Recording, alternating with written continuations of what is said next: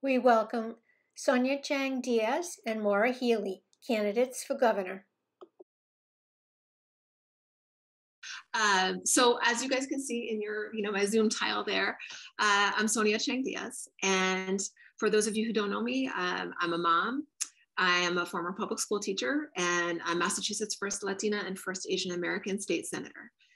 And I'm running for governor for pretty simple reasons. Every day in Massachusetts, it is getting harder and harder for families to live here, right? Housing costs are going through the roof. We've got some of the worst traffic congestion in the nation and the fastest growing student debt load. Uh, healthcare costs, childcare costs are getting more and more expensive. And you know, hanging over it all, we've got the consequences of climate change that are just barreling down on us. And the truth is, leaders on Beacon Hill have been telling working families to wait for too damn long for meaningful change on these problems. Uh, the fire that I bring to this race comes from my past. Uh, my dad was an immigrant uh, who came to the United States from Costa Rica with 50 bucks in his pocket. Uh, but with the help of teachers and lunch ladies and librarians, he made it not only to college, but he made it to space and became NASA's first Latino astronaut. My mom is a social worker and she's a woman of faith. And she spent her career helping women and children who struggle on the margins of society. And each of them, in their own way, taught me about our country's incredible promise and incredible opportunities.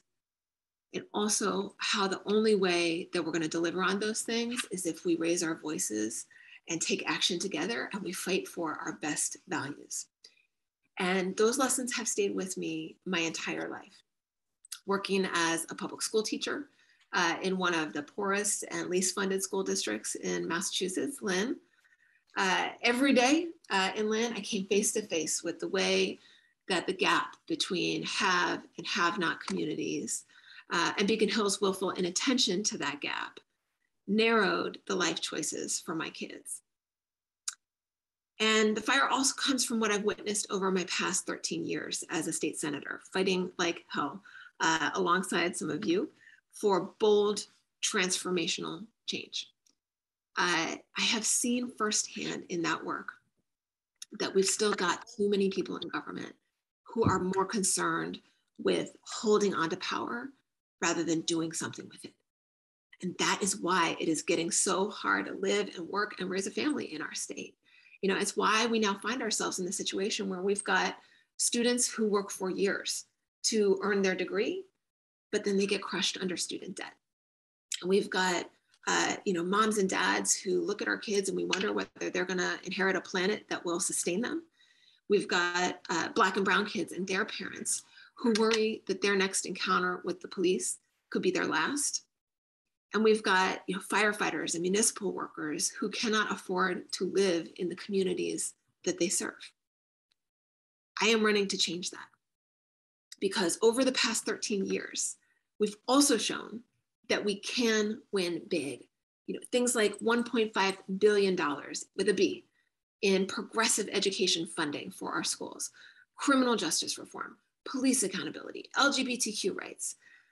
We've shown with these wins that we don't have to accept the world as it is presented to us.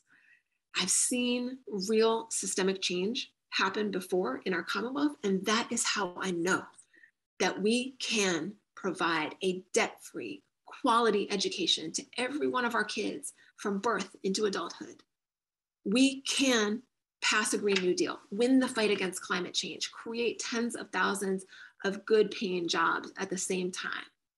And we can close the racial wealth divide, rebuild the middle class, make it so that our kids' economic fortunes look better and not worse than their parents we have already shown that that future is possible. We just need to stand together.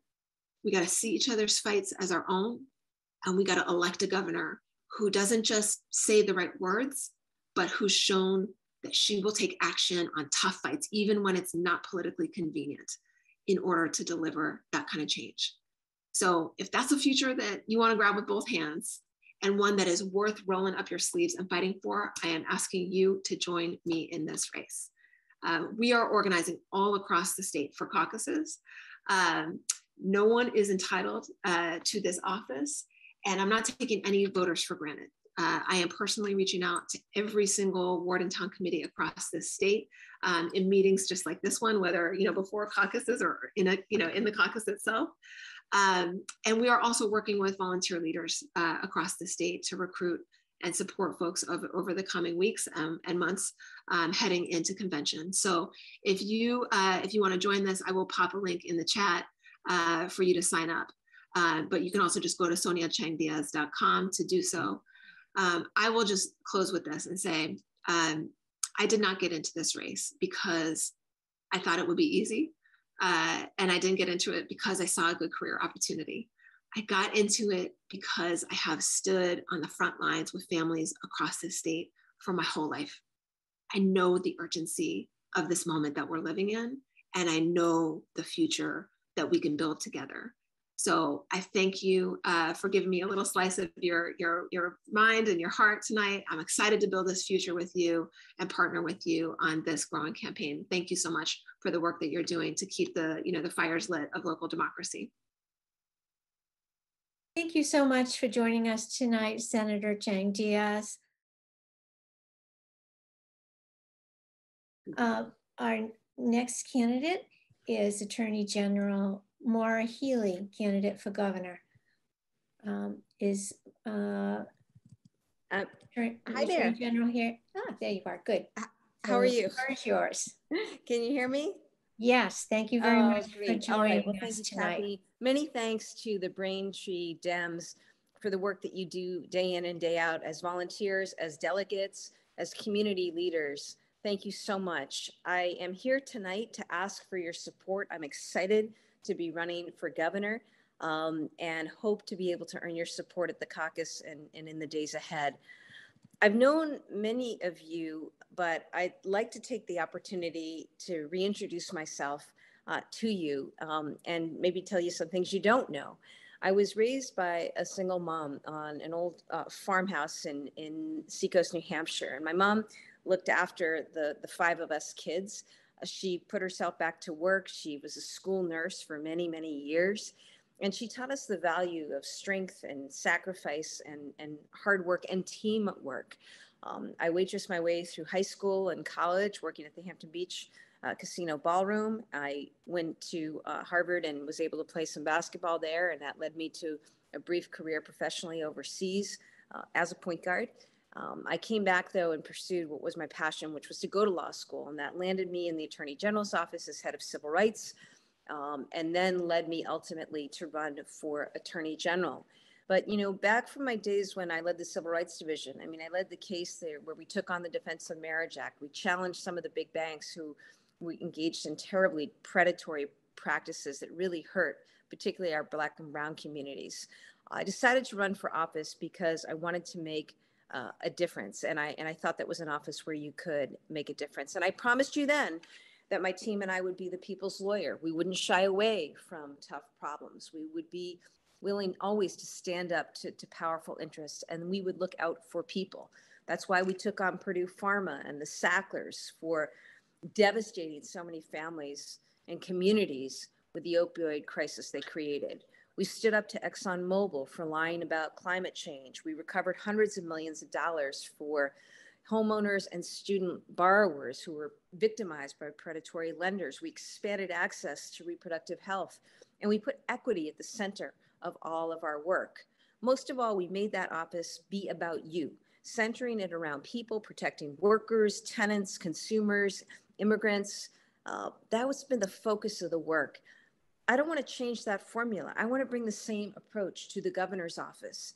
You know, Massachusetts has some of the best schools and hospitals and innovative companies in the world, but too many families are being left behind and are not benefiting from that. It's a great place to live. It's the best state in the country uh, if you can afford it. And I hope as we emerge from this pandemic, we recognize and seize the opportunity to do things differently.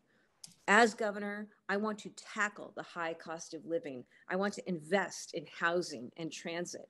I want to be the most aggressive governor when it comes to addressing the climate crisis. I want to expand our job training programs because with the economic growth happening right now and what should be happening going forward, everyone should be able to share in that prosperity with the right education and with the right support. We need to make childcare more affordable for everyone. I can tell you, it really upsets me that so many women have left the workforce. Women's uh, participation in the workforce is the lowest that it's been since 1988. And part of that are the barriers created by an unworkable childcare system here in the state. We've got a lot of work to do. We've got a lot of work to do when it comes to addressing mental health. You know, I know that most every family has experienced um, exacerbated mental health needs through this pandemic. And, you know, I want to be really clear uh, mental health care is health care. And as governor, I am going to work to finally fix our behavioral health systems so that every child, every person has access to the care they need when they need it. And so these are some of the things that I think about um, and, and, and the things that I want to accomplish as governor. I can't tell you how fired up I am because I've seen what it what happens when people come together, when you can convene, when you can lead, when you can set a vision, and what you can execute and how you can get things done. And as I say, Massachusetts is a fantastic place to live. We can be so much better. We can do so much more. And I think that by centering the work on people, by centering the work on equity, by harnessing the tremendous human capital, intellectual capital, and innovation we have here in the state, we can do great things. So I hope you'll join me and the team in this campaign. I'd love to earn your support, support, and I'm really excited to be out here. And I thank you for your time here tonight. Well, we thank you very much for joining us tonight.